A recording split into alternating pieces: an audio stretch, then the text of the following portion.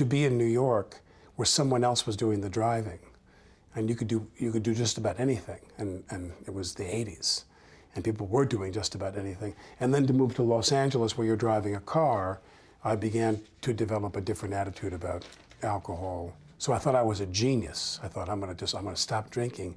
I'm going to switch to drugs. I'm like, see, I got it all figured out here. See, and uh, so I did that for a couple of years.